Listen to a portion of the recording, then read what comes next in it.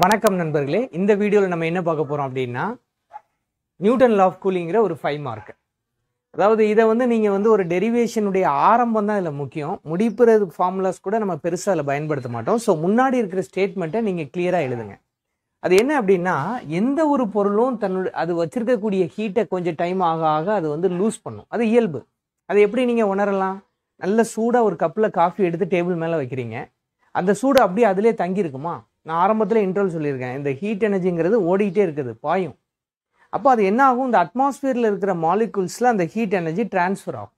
அப்போ அதில் இருக்கக்கூடிய அளவுகள் அந்த அந்த அந்த எனர்ஜி வந்து லாஸ் ஆகிட்டு இருக்குங்கிற மாதிரி அதை எடுத்துக்கலாம் இல்லையா?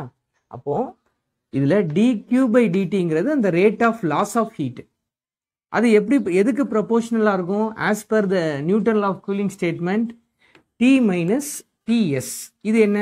டீங்கிறது அந்த பாடி வச்சிருக்கிற டெம்பரேச்சர் டிஎஸ்ங்கிறது சரௌண்டிங் டெம்பரேச்சர் இந்த ரெண்டு கடையில் உள்ள டிஃப்ரென்ஸ்க்கு அது ப்ரொபோஷனலாக இருக்கும். அப்போ rate of loss of heat is directly proportional to temperature difference between the body and the surrounding இதான் நீங்கள் எழுத வேண்டிய ஸ்டேட்மெண்ட் சரி இப்போ இதை வச்சுக்காங்க. ஆக்சுவலாக சம் போடுறதுக்கும் நமக்கு இதுதான் யூஸ் ஆகும். இருந்தாலும் அவங்க இங்கே டெரிவேஷன் கொடுத்துருக்காங்க. அதை நம்ம கேரி பண்ணி வரலாம். பொதுவாக ஒரு ஆப்ஜெக்டில் நம்ம வந்து கியூங்கிற ஹீட் எனர்ஜியை நம்ம ஃபார்முலா எப்படி எழுதுவோம்? எம் எஸ் டிடின்னு எழுதுவோம்.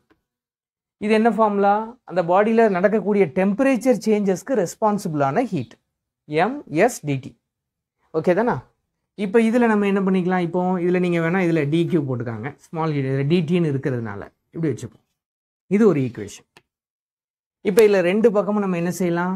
டிடியால் என்ன செய்யலாம்? டிவைட் பண்ணலாம். அப்போ எம்எஸ் டிடி பை டிடி இங்கே பாருங்க இந்த டி டைமு பெரிய டீனா டெம்பரேச்சர் ஞாபகம் வச்சுக்காங்க.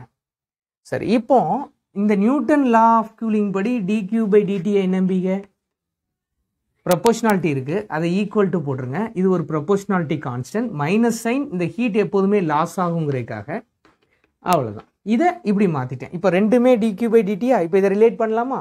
அப்போ அப்படி ரிலேட் பண்ணிட்டீங்கன்னா MS DT by T small T will be equal to minus of A T minus TS இப்போ இதை அரேஞ்ச் பண்ணுங்க. அரேஞ்ச் பண்ணிங்கன்னா இந்த டி மைனஸ் டிஎஸ்ஸை இந்த பக்கம் எடுங்க அப்போ எப்படி வரும்? DT by T minus TS will be equal to minus A divided by MS கரெக்டா இன்டு டிடி இப்போ இதை இன்டகிரேட் பண்ணுங்கள் அப்போ தான் ஃபைனல் ஆன்சர் கிடைக்கும். இப்போ இதுக்கான இன்டகிரேஷன் ஃபார்முலா என்ன?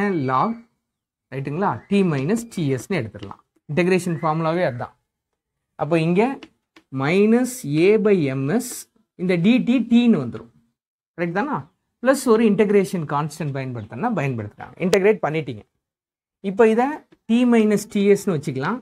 இந்த லாக் இ இதை அந்த பக்கம் கொண்டு போகிறீங்கன்னா அது எக்ஸ்போனன்ஷியலாக எழுதலாம். அப்போ e power minus AT by MS இதுலேயும் ஒரு இன்டெக்ரேஷன் கான்ஸ்டன்ட் போட்டுருவோம் பிடி ரைட்டா இல்லை இதை நான் இன்னும் கூட அரேஞ்ச் பண்ணுறேன் அப்படின்னா இந்த டிஎஸ் அந்த பக்கம் கொண்டு போய் எழுதுங்க.